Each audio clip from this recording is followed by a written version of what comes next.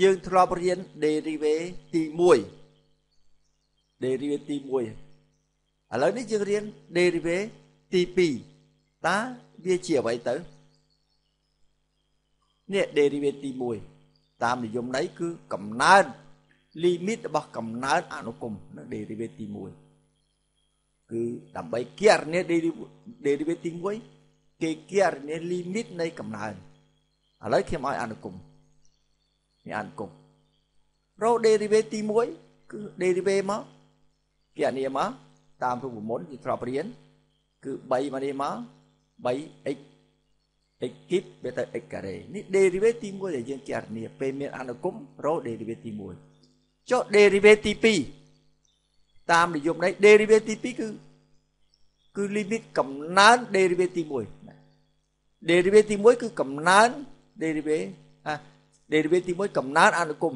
derivative ទី2កំណើន derivative ទី1អញ្ចឹងបើយើងមានអនុគមបើយើងមាន derivative ទី1នេះបើយើងមាន derivative ទី1បើយើងមាន derivative ទី1 derivative ទី2គឺរោបន្ទាប់ហ្នឹងរោមករោមកគឺគឺអី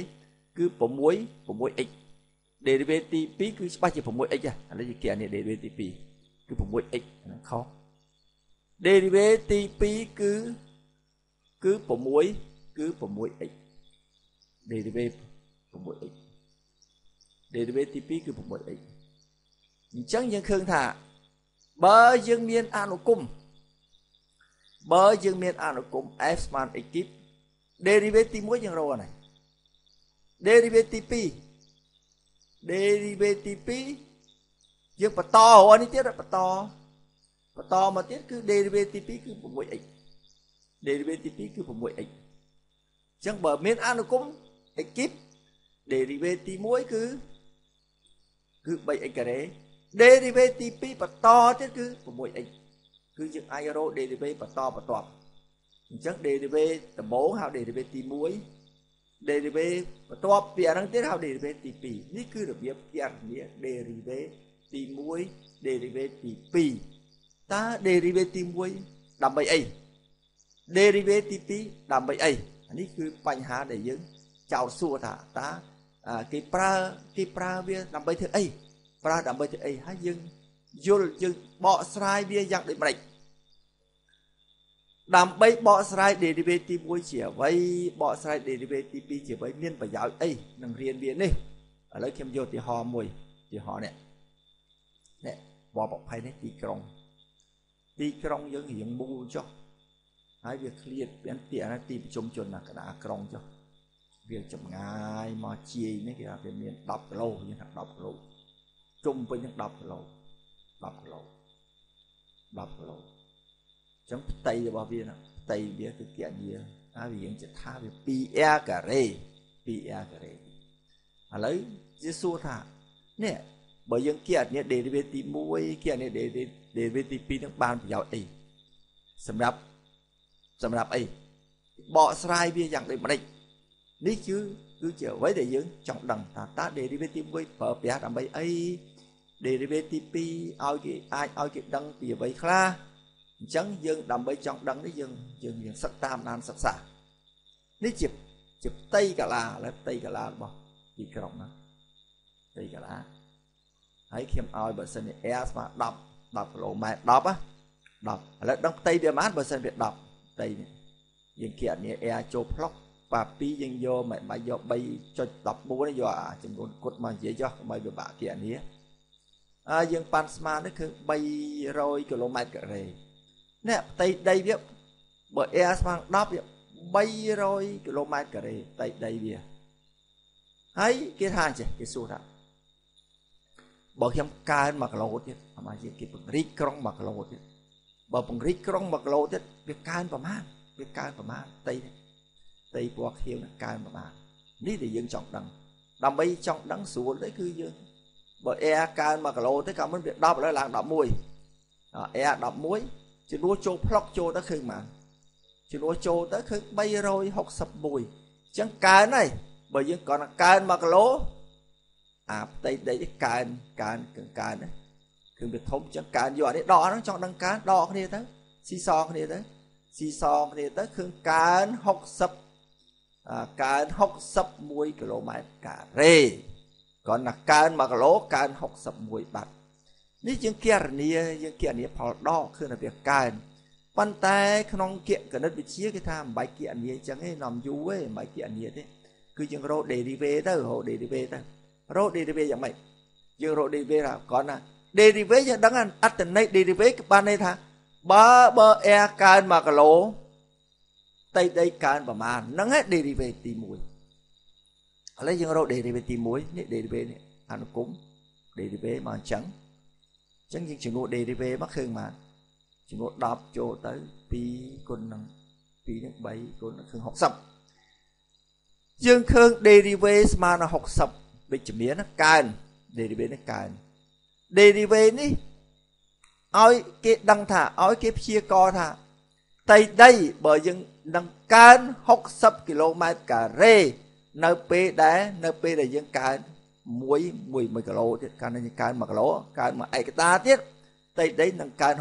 60ចុះកន្លែងនេះ61គាត់ថា derivative វាគណនាទៅវាអាចលៀងបន្តិចវាអាចលៀងអានេះវាជាក់លាក់អានេះលៀង derivative ហ្នឹងវាពិតមែនលៀងតែវាងាយវាខ្លីឲ្យយើងប៉ាត់ស្មាន អញ្ចឹងយើងអាចថាដឹងថាម៉េចយើងថា derivative ទី1ឲ្យគេព្យាករថាបើសិនជា air កើន1គីឡូនោះវានឹងកើន60គីឡូគាត់ថា air កើន1គីឡូផ្ទៃហ្នឹងណាផ្ទៃទីក្រុងនឹងកើន60 60គីឡូហ្នឹងឯ derivative ទី1ឲ្យគេព្យាករថាផ្ទៃដីនឹងកើន60គីឡូបើសិនជាទីក្រុងហ្នឹងគេពង្រីក1គីឡូហ្នឹងឯង ផលប្រយោជន៍របស់ derivative ទី1អញ្ចឹងបានន័យថាបើយើងបង្រៀក1គីឡូទៀតនោះផ្ទៃដីនឹងកើន60គីឡូហ្នឹងគេប្រាប់យើងអញ្ចឹងឲ្យយើងដឹងអញ្ចឹងដេរីវេទី1ឲ្យយើងដឹងអញ្ចឹងអញ្ចឹងសរុបមកដេរីវេទី1ស្មើ60ពេលនោះទីក្រុងយ៉ាងម៉េចទីក្រុងពីដើម300ណាគេប្រាប់ថាណាដល់ពេលបើ S ស្មើ11ការវានៅ10ការវានៅ10 វា300វានៅ300បើសិនជា derivative ស្មើនឹង60តីដីតីដី F កើនមកកើនមកឯកតាទៀតបានតែ F11 F11 នឹងកើនបាន F11 នឹង300បូក6 360ឃើញទេមានន័យថាកន្លែងនេះខ្ញុំគូជា derivative ទី1 derivative ទី1ហ្នឹងស្មើនឹង60ឲ្យគេដឹងថាឲ្យគេដឹងថាណែពីដើមនេះ វា300បើគេកើនមកឯកតាទៀតណាបើកើនឯកតាទៀតវានឹងវានឹងផ្ទៃដីនោះវាមិនមែន300ទេវានឹងคล้ายទៅជា360បាទនេះ F11 ហ្នឹងអញ្ចឹង F11 ហ្នឹងគឺយើងបាច់រកចំនួន10 11ចូលទៅអាហ្នឹងទេគឺថាយើងយើងបូកមកកើន60អញ្ចឹង derivative ទី1ព្យាករអតីដីរបស់ទីក្រុងថាដឹងថានឹង នឹងមានផ្ទៃដីសរុបប្រមាណបើសិនជាយើងកើនមួយមួយឯកតាទៀតនេះហៅថា derivative ទី1ឥឡូវមើលយើងមើល derivative ទី2យើងដឹងថា derivative ទី1នេះស្មើនឹង60បានន័យថាបើអ្នកឯងកើនមួយឯកតាវានឹងកើន60គីឡូម៉ែត្រការ៉េហើយគេថាបើយើងកើនមួយឯកតាទៀត derivative ទី1ដដែលនេះប៉ុន្តែ derivative ទី1ត្រង់កន្លែង10នេះ a ស្មើ10ហ្នឹងកើន60ទេដល់ air 11នេះមិនមែនកើន60ទេកើន66គឺថាការកើនខុសខុសគ្នាបានតែបង្រីកធំតិចកើនកាន់តែធំបង្រីកធំតិចកើនកាន់តែធំ ការកើនអត់ស្មើគ្នាទេមើលនេះកើនមួយឯកតាវា60កើនមួយឯកតាទៀតមិនមែន60ទេវាកើនកើនខុសគ្នាការកើនខុសគ្នាអញ្ចឹងយើងមើល derivative ទី2គេបកស្រាយយ៉ាងម៉េច derivative ទី2ឥឡូវខ្ញុំរក f' ស្មើនឹង10ណែ hexagon derivative ទី2នេះ derivative ទី2នេះចង់រក derivative ទី2នេះបន្ទាប់មក derivative នេះឃើញ6 derivative ទី2ស្មើនឹង6មានន័យថាម៉េចមានន័យថាណែ derivative ទី1នេះ derivative ទី1នេះ derivative ទី1នេះវា60ណែវាកើនកើន60 ដល់ derivative ទី2នេះវា6ប្រាប់ថាវាបន្តកើនទៀតណាតទៀតវាបន្តកើនមិនមែនកើន60នឹងកើននឹងកើនអីវាព្យាករឲ្យថានឹងកើន66អញ្ចឹងគ្រូបញ្ជាក់មកទៀតថា derivative ទី2ស្មើនឹង6វិជ្ជមាន ចំនួននោះវិជ្ជមានឲ្យយើងដឹងថាឲ្យព្យាករ derivative ទី2សម្រាប់ព្យាករ derivative ទី1ថា derivative ទី1នេះ លើកក្រោយមិនមែនកើន60ទៀតទេនឹងកើនថែម6ទៀតគឺ60 66អញ្ចឹងខ្ញុំបញ្ជាក់ម្ដងទៀត derivative ទី